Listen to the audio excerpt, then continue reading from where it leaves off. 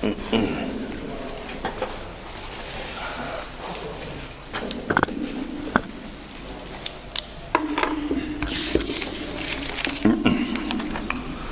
الله الرحمن الرحيم. الحمد لله رب العالمين. وصلى الله وسلم وبارك على نبينا محمد وعلى آله وصحبه ومن اهتدى بهدي إلى يوم الدين. وبعد. نشرع اليوم إن شاء الله تعالى في ذكر ما يتعلق بأحكام الأضاحي أو الأضحية ونقرأ من رسالة الإمام ابن أبي زيد القيرواني رحمه الله تعالى. قال رحمه الله باب في الضحايا والذبائح والعقيقة والصيد والختان وما يحرم من الأطعمة والأشربة. يعني ذكر في هذا الباب مجموع هذه الأحكام ونحن سنقتصر على ما يتعلق بالضحايا أو الأضاحي أو, أو الأضحى. نعم. وما يتعلق بأحكام الذبح. باب في الضحايا. والضحايا جمع. ويقال في الأضحية في مفردها أضحية وإضحية أضحية وإضحية. وتجمع على أضاحي بتشديد الياء. ويقال ضحية وتجمع على ضحايا. ويقال أضحات وتجمع على أضاح وأضحى. هذا هو آه، لفظ هذه الكلمة الأضحية. والأضحية حقيقتها أنها آه، ذبح آه، ذبح الأنعام في وقت مخصوص وبشروط مخصوصة تقربا إلى الله سبحانه وتعالى. هذا حقيقة الأضحية. حقيقة الأضحية ذبح شاة أو غيرها من الأنعام في بشروط في وقت مخصوص وبشروط مخصوصة. أو يقال ذبح الشاة أو سائر الأنعام يوم عيد الأضحى بشروط مخصوصة بشروط مخصوصة تقربا إلى الله سبحانه وتعالى.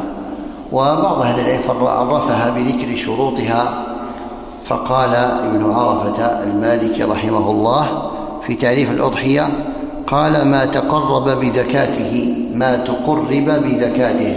فالأضحية يتقرب بها إلى الله. بذكاته الذكاة تشمل الذبح وتشمل النحر وسيأتي بيان ذلك. فالذبح يكون عند التقاء الرقبة مع الرأس والنحر يكون في التقاء الرقبة مع الصدر. والأضحية تجوز في الغنم والبقر والإبل. الغنم تذبح والبقر عند الجمهور تذبح وقيل تنحر والإبل تنحر وكل من الذبح والنحر يسمى ذكاة فالذي ذكر هذا التعريف قال ما يذكى حتى يدخل في ذلك الذبح ويدخل ماذا؟ النحر. فالذبح هو القطع عرضا في عند التقاء الرقبة مع الرأس. والنحر هو الطعن عموديا في اللبة حيث يلتقي العنق مع الصدر. وكل منهما يسمى زكاة فمن الأنعام ما يذبح ومنه ما ينحر. وهل يجوز ذبح ما ينحر ونحر ما يذبح؟ خلاف والمذهب أنه يكره والصواب في ذلك جوازه كما حققه بعض العلماء. فقيل ما تقرب بذكاته من جذع الضأن أو ثني سائر النعم. من جذع الضأن. يعني التعريف هذا فيه ذكر الشروط التفاصيل الذي ذكرناها قلنا بشروط مخصوصة.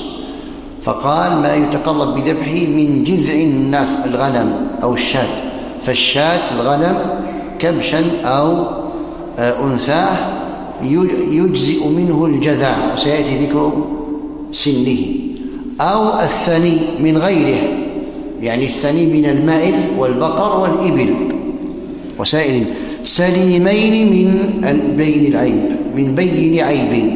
يعني كل من الشاة وسائل النعم اللي هو الماعز والبقر والإبل تكون سليمة من بين عيب أي من العيب البين الذي سيأتي بيانه توضيحه. مشروطا هذا مشروطا بكونه في نهار عاشر ذي الحجة. يعني أن يكون الذبح في نهار عاشر ذي الحجة لأن عند مالك الذبح يكون نهارا لا ليلا.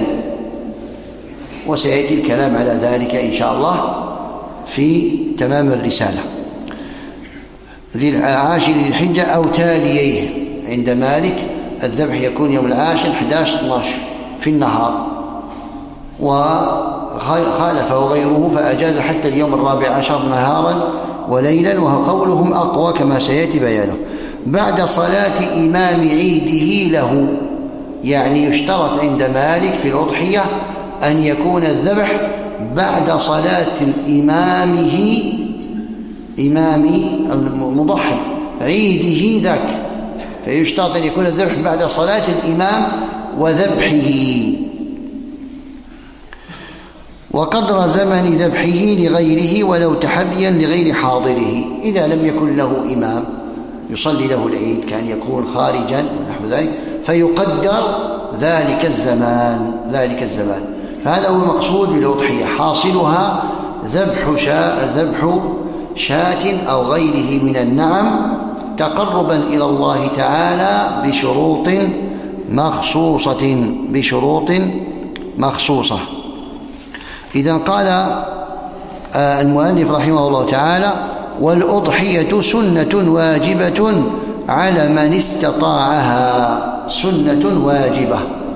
هو المذهب مالك عندهم هذا الاصطلاح سنة واجبة والمقصود بذلك تأكيد سنيتها تأكيد السنية. لأن عندنا الوجوء الفرائض وعندنا السنن. وهذه السنن يعني مراتب لأن من السنن ما قاله النبي صلى الله عليه وسلم وعمل به وواظب عليه وفعله في مجمع من الناس. ومن السنن ما فعله النبي صلى الله عليه وسلم أحيانا وليس بمجمع من الناس. ومن السنن ما ذكر النبي صلى الله عليه وسلم فضله ولم يشتهر انه أنه فعله أو داوم عليه أو فعله بمجمع من الناس. فدل هذا على أن السنن متفاوتة. فالأضحية عندما سنة واجبة يعني مؤكدة لا ينبغي وكما قال هو لا أحب لمن يستطيعها أن يتركها. ونقل عن مالك أنها واجبة فرض وقيل سنة. وعند مالك سواء للذكر, والأنثى والصغير والكبير والمقيم والمسافر على حد سواء. يرى لزومها. نعم. والأضحية سنة واجبة والأظهر الله أعلم أنها واجبة على المستطيع لأن النبي صلى الله عليه وسلم لما ذكر له الرجل أنه ذبح قبل الصلاة قال اذبح مكانها أخرى. اذبح مكانها أخرى. دل على لزومها. وقبل ذلك قال ربنا جل وعلا فصل لربك وانحر. هذا أمر. والنبي صلى الله عليه وسلم قال على كل في على كل أهل بيت في كل عام أضحية وعتيرة ثم نسخت العتيرة بعد ذلك. وقال عليه الصلاة والسلام من وجد ساعة ولم يضحي فلا يقربن مصلانا. إن كان الحديث اختلف فيه بين الرفع والوقف والنبي صلى الله عليه وسلم مذ شرعت الأضحية وهو يضحي ولم يتركها وواظب عليها بل قيل أنه ضحى في الحج كما في حديث عائشة أنها أتي إليها بلحم فقالت ما هذا؟ قال قالوا بقر ضحى به النبي صلى الله عليه وسلم على أهل بيته. فالأظهر أنها لازمة واجبة. قال على من استطاعها أي الذي يستطيعها. فسرت الاستطاعة بالمذهب أي الذي يجد ثمنها سائر العام ولا ينقص ثمنها عن في ملكه سائر العام فهذا يعد مستطيعا. أما الذي لا يجد ثمنها سائر العام فلا يعد ماذا؟ فلا يعد مستطيعا فلا يعد مستطيعا.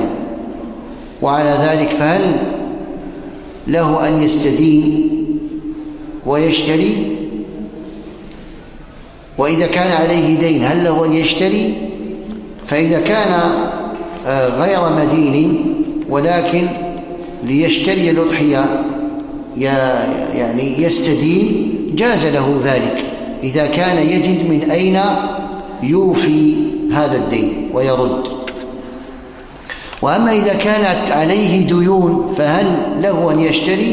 نعم إذا كان أذن له أهل الدين وله ما يجد آه، به الوفاء. من أين يوفي؟ نعم. ويروى في هذا الحديث عائشة قالت يا رسول الله أضحي أستدين وأضحي. قال نعم فإنه دين مقضي. لكن الحديث لا يثبت. الحديث عند الدار قطني والبيهقي مرسل وضعفه أهل العلم. نعم والحاصل هو التفصيل في الاستدانة والمدين ما ذكرناه.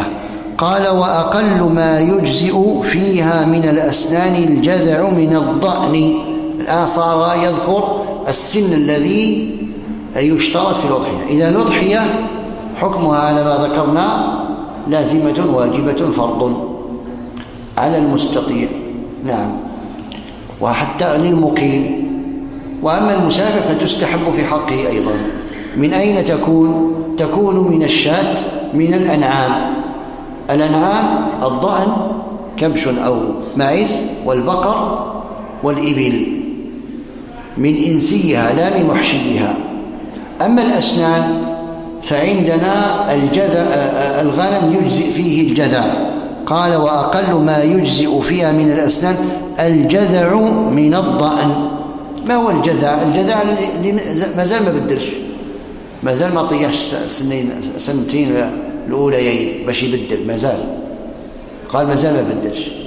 وذكرت له بعض الأوصاف الذي صوفه آه، يتجعد أو صوفه آه، يعني يكون قائما. لما ما هوش مسبح ما هوش آه، هادئ يعني. هذه أوصاف. لكن ضبطت بالسن. فقال وهو ابن سنة. الكبش ابن سنة هذا المشهور في المذهب. وقيل ابن ثمانية أشهر وهو مروي عن مالك أيضا. وقيل ابن عشرة وهو رواية عن ابن وهب. وقيل ابن ستة ست أشهر كذلك لم يذكر المؤلف وهذا قول لسحنون. فالجذع المشهور أنه ابن سنة. ومن العلماء من يرى جواز عشرة أشهر أو ثمانية أو ستة. لكن المشهور أنه ابن سنة. فإذا اشترى الإنسان ليكن ابن سنة. هذا من من من من الغنم.